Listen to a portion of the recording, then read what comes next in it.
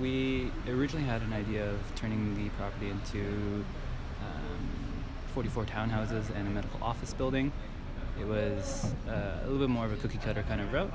The new direction, uh, away from the past, is to go into a little bit more of a community hub, um, something that kind of showcases the community. The key motifs of the property are going to be more of uh, culture, diversity, accessibility, and just openness to, I guess, learning about each other inside Hamilton. Different age groups, younger age groups, um, and just all things that kind of bring everyone kind of together.